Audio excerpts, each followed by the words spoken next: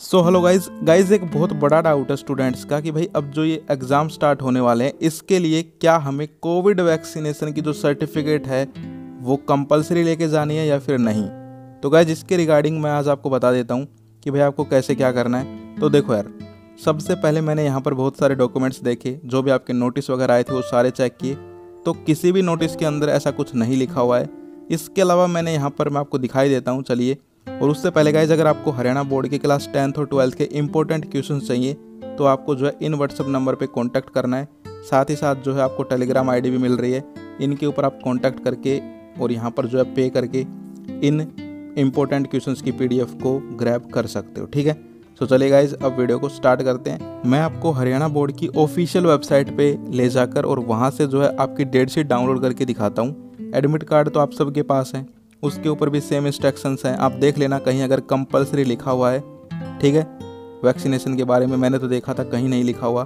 अब मैं आपको डेट शीट पे एक लाइन दिखाता हूँ, जो कि यहाँ पर आई थी। तो यहाँ से आपकी डेट शीट डाउनलोड करते हैं, हरियाणा बोर्ड की ऑफिशियल वेबसाइट से ये रही, ठीक है? चलिए इसको डाउनलोड करते हैं, और फिर एक लाइन है, उसको आप ध्यान से देखना, समझना, ठीक so यहाँ पर आप अपनी डेट शीट को देख सकते हो, ये है आपकी डेट शीट 30 तारीख से एग्ज़ाम स्टार्ट है, सबसे पहले ट्वेल्थ का हिंदी का एग्ज़ाम है।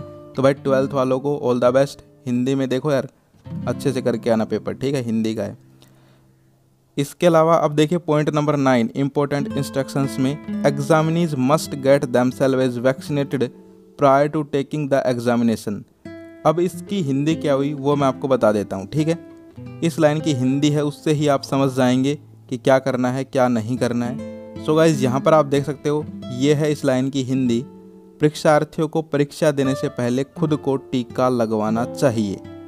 यानी कि यहाँ पर इन्होंने कहा है कि भाई जो भी यहाँ पर परीक्षार्थी रहेंगे, जो एग्ज़ाम देंगे, उनको जो है टीका लगवाना चाहिए। लेकिन यहाँ पर इन्होंने कोई कंपल्सन नहीं किया है, कोई कंपल्सरी नहीं किया है कि भाई ज़रूरी ही ज़रूरी लगवाना चाहिए। यानी कि इन्होंने एज ए एडवाइज जहाँ तक मुझे लगता है बताया है, नहीं आया समझ में। चलिए एक एग्ज़ाम्पल देके समझाता हूँ। जैसे कि आपने देखा होगा कई बार हमारे बड़े भाई बहन बोलते हैं भाई, सुबह तो जल्दी उठना चाहिए अच्छा रहता है। हेल्थ के लिए भी, सभी चीज़ों के लिए बहुत जल्दी उठना चाहिए और फिर खुद दस बजे उठो चाहे तो कहने का मतलब क्या है? ज्ञान देने वाली बात आपने सुनी होगी ना?